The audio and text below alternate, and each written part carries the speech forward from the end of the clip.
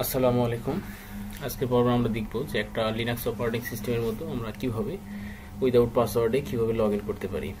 যখন যদি আমরা কোনো লিনাক্স অপারেটিং সিস্টেমে আমরা ঢুকতে চাই, তাহলে প্রথমে আমাকে যে টার্গেট অপারেটিং সিস্টেম লিনাক্স আছে, তাকে আমাকে প্রথমে দেখতে হবে যে তার কি কি পোর্ট ওপেন আছে।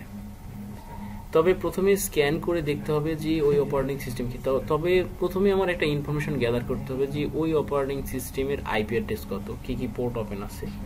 কোন কোন পোর্টে আমি তাকে অ্যাটাক করতে পারি? তাহলে প্রথমে যদি আমি দেখতে চাই অপারেটিং সিস্টেমে তাহলে আইপি অ্যাড্রেসটা জানতে হবে। যদি আমরা আইপি অ্যাড্রেসটা জানি, তাহলে তার অনেক ফিফটি পার্সেন্টের বেশি ইনফরমেশন তার গ্যাদার করা হয়ে গেল। তাহলে আমি যখন যদি আইপি অ্যাড্রেসটা জানতে পারি, তাহলে আমি জানি সাপোজ আমি জানি ওই অপারেটিং সিস্টেমের আইপি অ্যাড্রেস আমাকে এখানে দুটো অপারেটিং সিস্টেম আছে, একটা কালিনাক্স এবং আরেকটা আরেকটা মেটাস্পোরেট একটা লিনাক্স অপারেটিং সিস্টেম আছে। এই অপারেটিং সিস্টেমের আইপি অ্যাড্রেসটা শুধু আমি জানি, আর কিছুই জানি না। তাহলে কালিনাক্স থেকে আমি এর ভিতরে কি কি ইনফরমেশন আছে সবগুলো আমি এখানে জেনে নিতে পারব। এই ইনফরমেশনগুলো গ্যাদার করার জন্য ইনফরমেশানগুলো জানার জন্য আমরা দু ধরনের টুল ব্যবহার করে থাকি। একটা হচ্ছে এনম্যাপ আবার হচ্ছে ডেমিট্রাই ডেমিটাইয়ের মাধ্যমে আমরা দেখতে পারব যে এর ইনফরমেশন কী কী আছে, সব দেখতে পারব। তারপরে এন ম্যাপের মাধ্যমে আমরা এর ইনফরমেশান গ্যাদার করতে পারব। তাহলে এন ম্যাপের মাধ্যমে আমরা প্রথমে দেখে নেব যে এর কি কি ধরনের পোর্ট ওপেন আছে। ড্রিমিটাইয়ের মাধ্যমে আমরা দেখতে দেখতে পারি যে কী কী ধরনের পোর্ট ওপেন আছে, কোন পোর্ট দিয়ে আমি অ্যাটাক করতে পারি।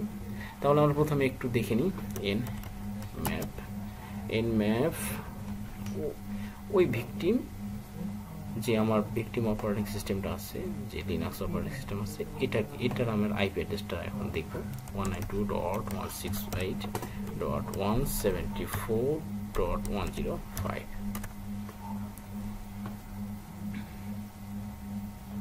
একটু সময় নেবে। একটা অপারেটিং সিস্টেমকে যখন কেউ আমরা নেটম্যাপ স্ক্যান করব, তখন এই সিস্টেমটা অবশ্যই দেখে নিই যে এর ভিতরে কি কি ধরনের পোর্ট ওপেন আছে। আমরা দেখি কি কি পোর্ট ওপেন আছে। দেখেন একটা মজার বিষয় হচ্ছে এফটিপি পোর্ট ওপেন আছে। এফটিপি এসএসএস এবং এফটিপি দুটা পোর্টে ওপেন আছে, বিশ এবং একুশ এবং বাইশ দুটা পোর্ট ওপেন আছে এখানে। তাহলে যদি একুশ পোর্টটা ওপেন থাকে, তাহলে এখানে আমাদের জন্য সহজ কি? যে যদি কোনো অপারেটিং সিস্টেমের যদি কোনো সিস্টেমের ভিতরে এফটিপি পোর্ট ওপেন থাকে, তাহলে আপনি ধরে রাখতে পারেন যে আপনি নাইনটি পারসেন্ট সাকসেস হবেন এই এফটিপি পোর্ট দিয়ে যখন আপনি কোনো অ্যাটাক চালাবেন। তাহলে অ্যাটাক চালানোর জন্য আপনাকে প্রথমে যে অপারেটিং সিস্টেমের মধ্যে অ্যাটাকটা করবেন, তাকে প্রথমে একটা ব্যাকডোর ক্রিয়েট করে আসতে হবে। ব্যাকডোর কী জিনিস, আপনি যে পদ, যে অপারেটিং সিস্টেমের মধ্যে ঢুকবেন, এই অপারেটিং সিস্টেমে ঢোকার জন্য একটা রাস্তা ব্যাকডোর ক্রিয়েট করার জন্য ক্রিয়েট করে আসবেন। অর্থাৎ আপনি সেখানে গিয়ে একটা রাস্তা বানিয়ে আসলেন, পরবর্তীতে আপনি ঢোকার জন্য। তো এই ব্যাকডোরটা হচ্ছে রাস্তা তৈরি করার একটা কৌশল। তাহলে আমরা প্রথমেই একটা ব্যাকডোর দেখে নিই।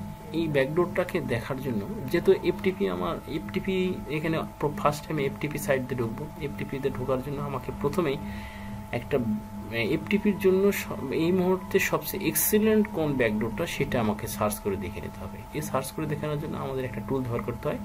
MSF console tools M S MSF console then MSF কনসোলে যাওয়ার জন্য আমাদের এমএসএফ কনসোলে ইন্টারপ্রেস করলে আমরা এমএসএফ কনসোলে ঢুকতে পারব। একটু সময় নেবে যদিও।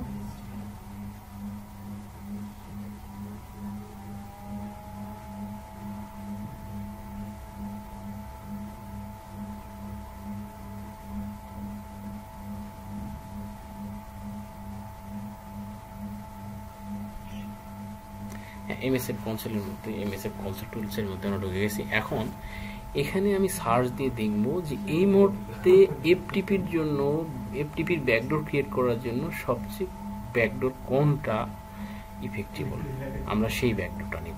তাহলে আমরা যাই। সার্চ সার্চ পিএসএফটি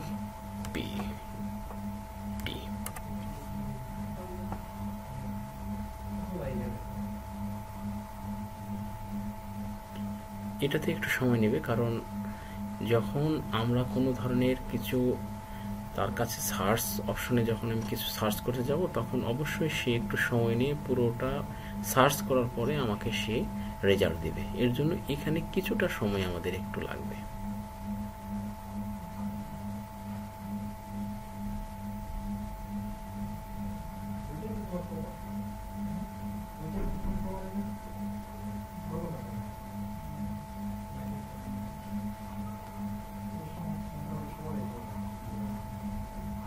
হ্যাঁ আমরা পেয়ে গেছি। আমাদের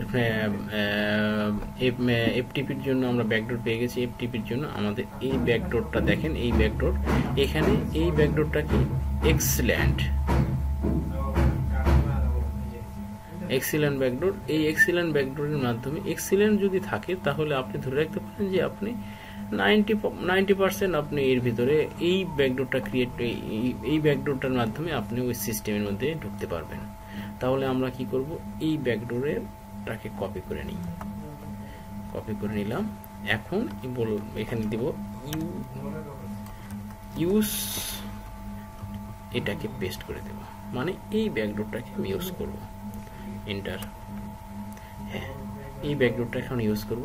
এখন আমি কোন, আমার টার্গেটকে টার্গেটকে সেট করতে হবে? মানে এই ব্যাকডোরটা কার পিছনে সেট হবে মানে কার পিছনে রাস্তাটা তৈরি করবে। তাহলে এখানে সেট করার জন্য আমার আমার অন্য একটা অপারেটিং সিস্টেম যেটা আছে, যেটা আমার টার্গেট পিসি যেটা যেটাকে আমি স্ক্যান করে এফটিপি পোর্টটাকে ওপেন পেলাম, সেই সেই সিস্টেমকে আমি দেবো। তাহলে set R host R host one nine two dot one six eight dot one seventy four dot one zero five enter এখন এখানে আমার একটু দেখে নেওয়া উচিত যে আসলে আমি যে ব্যাকডোরটা ক্রিয়েট করে আসলাম, সেটার অপশনগুলো একটু দেখা উচিত। শো অপশন দেখেন, আমি আমার টার্গেটকে এ, এটা আমার টার্গেট অ্যাড্রেস টার্গেটের কোন পোর্ট টোয়েন্টি ওয়ান মানে এফটিপি পোর্ট সেটা কি টিসিপি না ইউডিপি টিসিপি এখন আমি কি করব? জাস্ট এখানে এক্সপ্লয়েট করব। এক্সপ্লয়েট এক্সপ্লয়েট মানে আমার সকল কাজ শেষ এখন আমি আমার টার্গেট পিসির মধ্যে ইন হব।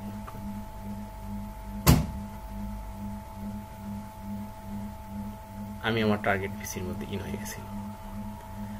দেখেন আমার টার্গেট পিসির মধ্যে আমি এখন ইন হয়ে গেছি। এখন আমি একটু দেখে নিই যে টার্গেট পিসি ভেতরে কি কি আছে। আমি যদি লিখি হু এম আই আমি কি? আমি টার্গেট পিসির রুটের মধ্যে আছি। এখন রুটের মধ্যে কি কি ডিরেক্টরি আছে আমি যদি একটু দেখতে চাই? রুটের মধ্যে এই এই ডিরেক্টরিগুলো আছে। এই ডিরেক্টরিগুলো আছে। এখন আমি যদি টার্গেট পিসিকে এখান থেকে রিস্টার্ট দিতে চাই অথবা অফ করতে চাই তাহলে হ্যাঁ তাহলে আমার কি করতে হবে? তাহলে আমি যদি রিস্টার্ট দিতে চাই, IN IT space six IN IT space six যদি রিস্টার্ট কমান্ডটা দিই, তাহলে দেখেন কমান্ডটা দিলাম। আমি এখন আমার এই অপারেটিং সিস্টেমটা দেখি।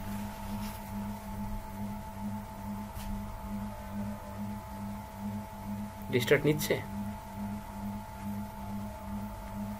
রিস্টার্ট নিচ্ছে মানে আমার এই অপারেটিং সিস্টেম থেকে কিন্তু আমি লগ লগ আউট অলরেডি মানে কি? যখন আমি ও নেট থেকে যখন ডিসকানেক্ট মানে আমার সিস্টেমটা অটোমেটিক আছে এখন যদি আমি আবার তাকে যদি সেশন ক্রিয়েট করে, সে যখন আবার নতুন করে যখন এই সিস্টেমটা যখন আবার যখন অ্যাক্টিভ হবে, তখন আমি এই সিস্টেমকে আবার নতুন করে, আবার অ্যাক্টিভ করে আমি ব্যাকডোর ক্রিয়েট করে আমি এর ভিতরে ঢুকতে পারব।